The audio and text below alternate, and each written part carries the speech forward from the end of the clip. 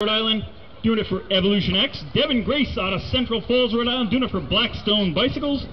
And Xanda Potter out of Ashaway, Rhode Island.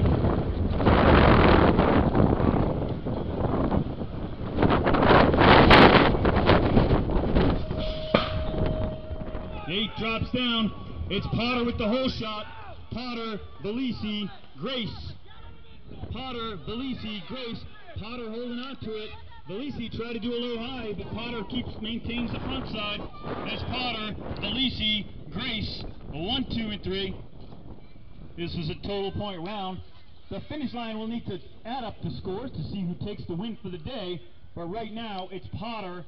Potter holding on to that front spot, followed by Valisi and Devin Grace. First day racing as an intermediate.